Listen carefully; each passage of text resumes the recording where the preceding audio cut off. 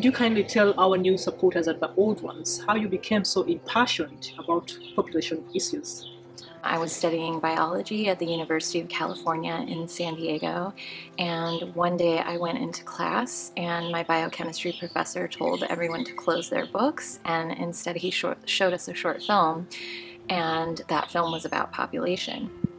When this issue was first brought up to me, I was probably 20, 21 years old, and it sort of shocked me that I had never thought about this issue before. And um, you know, I'm, I'm a real believer that this is uh, the greatest, this is the driver and the accelerant of all our other environmental issues. A lot of people, when I talk about population, will say, no, it's, it's not about population, it's about consumption. But of course, uh, there's a, a, fantastic quote from um, one of my favorite population activists, uh, Paul Ehrlich, who said, um, you know, saying that it's only consumption and not population is like saying the area of a rectangle is determined only by its length and not by its width. Of course, both of those things have an impact. So however, how many people you have on the planet multiplied by their consumption, and together that gives you our human impact on the planet. Uh, Population Matters is one of a few organizations, globally actually, and if not a lonely voice in the UK, that makes a connection between human population growth as well as the accelerating environmental crisis. As an environmentalist and someone who now understands this connection, what more do you think we can do to, you know, create awareness? I had figured out sort of a clever way to bring it up to strangers. So, you know, when you're flying and traveling, one of the one of the first questions that people tend to ask is, "Do you have kids?" And I would always answer saying, uh, "Actually, no. My husband and I are child-free by choice." And I found that just by adding those last two little words by choice, that would open up uh, for discussion. Have you faced any social pressures you know, any unfair criticism for your choice? I got thousands and thousands of people telling me I should commit suicide.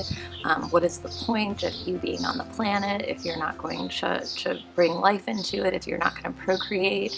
Um, if you're really trying to reduce your carbon footprint, then um, you know the best thing you could do is to kill yourself so that you're um, not making a carbon footprint anymore. Um, it was really horrific. It was it was shocking.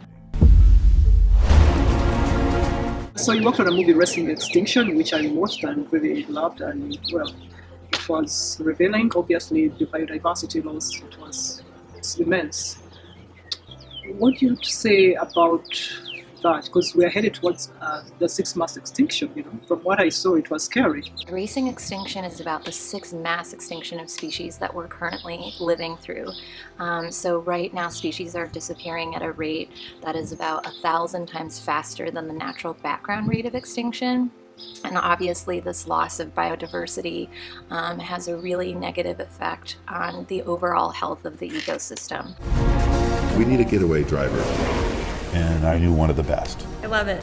Uh, Oceanic Preservation Society makes documentary films that are meant to um, inspire people to want to change the way that they're living on the planet. So this is a really important film that I hope people will watch.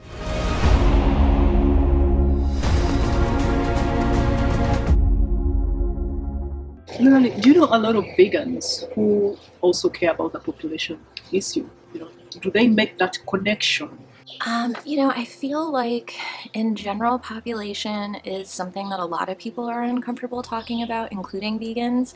I got into a, an online argument with a vegan that once uh, was proposing that vegans need to breed as much as possible because we need to bring more vegans into the world. And of course, um, you know, I argued back and said, no, you know, you bring a child into this world, and first of all, there's no guarantee that that child will stay vegan.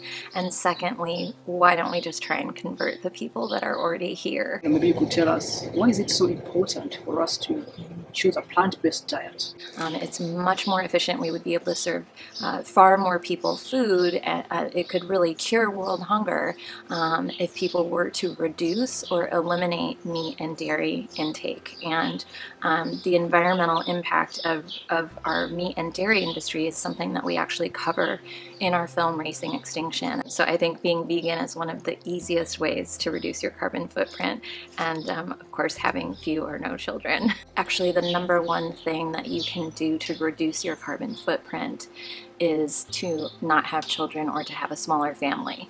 Um, so there's a fantastic uh, graphic that I'm hoping you can put up um, that shows what your carbon reduction is by driving an electric car or going vegan and comparing that with not bringing another child into the world. Um, and it is by far the most impactful decision that you can make. So I try and do everything that I can um, to reduce my carbon footprint. Um, my house is powered by solar power. Um, I drive an electric car that I've been driving since 2013. Um, so and and it's also charged by solar, so I'm literally driving off of sunshine. Um, I uh, I'm vegan. I've been vegan since 2011, both myself and my husband. Um, all of those things are fantastic ways to reduce our carbon footprint, but of course, um, none of those is is as big of an impact as the fact that we uh, chose to be child free.